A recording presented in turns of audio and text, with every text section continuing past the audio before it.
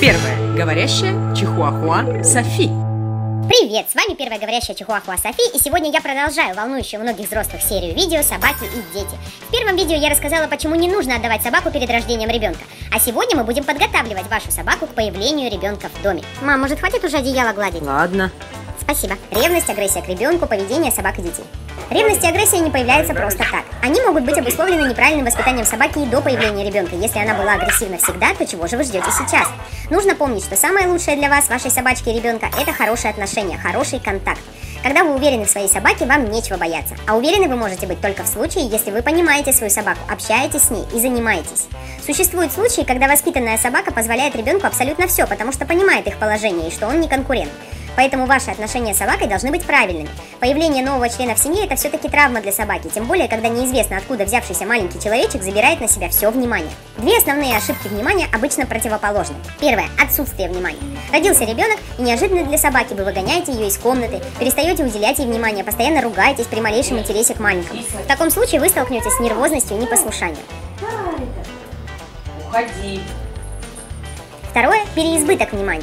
Не очеловечивайте собаку. Часто будущие мамы начинают играть, общаться, угощать собак больше, чем обычно. Думают они так. С появлением малыша собачке будет не хватать общения. Пусть видит, как мы ее любим, тогда меньше будет ревновать.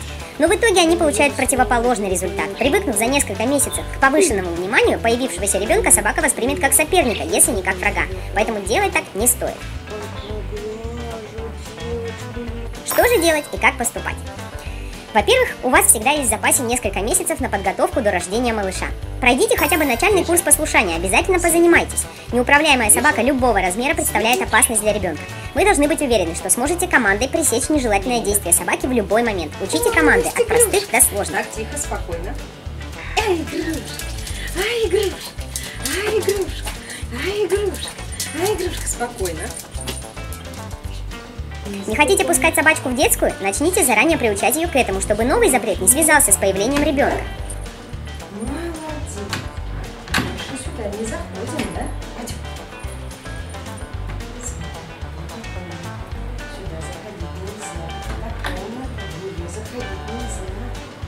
Молодец. Молодец. Все, закрываем, да? Молодец.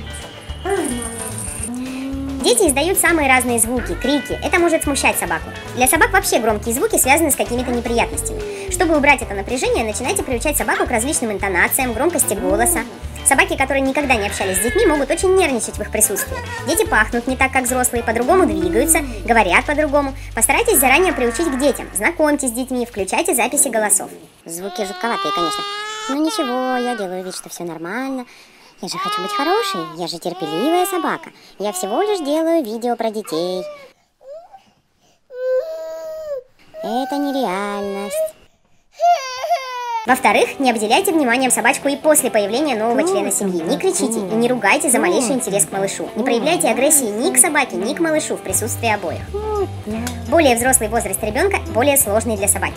Когда ребенок подрастет, у вас появится проблема. Ребенок захочет трогать игрушки собаки, ее место, туалет, общаться с ней. Дети обычно хватают собак, дергают, толкают, визжат, тянут. Все их движения порывистые, они ползают по полу. Так, камера работает? Ага, иду. Собака не понимает этого. Ваша задача состоит в том, чтобы научить собаку, чего ей следует ожидать, еще до того, как ребенок станет подвижным. Научите собаку терпеливо относиться к общению с детьми. Например, хватание и щипание. Ребенок в любом случае будет пытаться захватить собаку или ущипнуть. Приучите ее к этому заранее. Начните ласкать собаку, затем легко захватите толстую складку кожи и помните. Похвалите, затем отпустите складку и еще раз похвалите. Когда собака начнет воспринимать это с радостью, хватайте ее быстрее и крепче, но ни в коем случае не грубо. Собака не должна испытывать боли. Вскоре в сознании вашей собачки хватание и щипание будут ассоциироваться с положительными эмоциями, и она не будет злиться за это на ребенка и не будет этого бояться. Обнимашки. Дети любят обнимать собак. Собака должна это понимать. Позовите собаку, похвалите и быстро и нежно обнимите, а потом отпустите. Снова похвалите. Когда собака будет хорошо воспринимать подобные действия, через пару дней переходите к более длительным объятиям. Всегда отпускайте собаку прежде, чем ей станет некомфортно и неудобно. Продолжайте отрабатывать это упражнение, пока продолжительность объятий не достигнет полминуты. За этим всегда должна следовать похвала. Главная ваша цель в том, чтобы превратить все в веселье. Если собака вырывается, в течение трех дней уделяйте ей внимание только тогда, когда вы обнимаете ее. Это заставит ее захотеть обниматься, ведь так она получает внимание. Отучайте рычать и кусаться. Если ваша собака кусается в игре, и с вами в том числе, учите команду нельзя. Отучайте ее до общения с ребенком. Если собака позволяет себе рычать на вас, значит она агрессивна. Нужно с этим работать, пока не поздно. Если вы позволяете собаке проделывать это с вами, она, разумеется, будет делать то же самое с ребенком. Помните, ваше агрессивное отношение к собаке не устранит наличие агрессии у нее. В большинстве случаев собаки начинают считать, что агрессия – это единственный путь общения и решения возникающих проблем. Учите команды, всячески занимайтесь собакой. Особенно обратите внимание на команду «нельзя», чтобы пресечь любое нежелательное действие по отношению к ребенку впоследствии.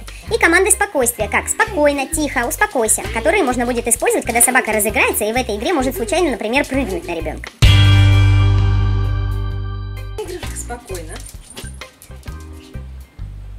Ждать. Жди.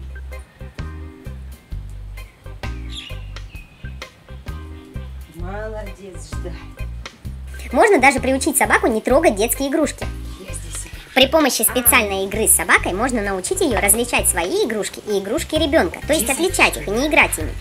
Ай, молодец. Я сниму специальное Здесь видео, как это сделать в самое ближайшее время. Где? Ай, Иван, молодец. И вот день настал.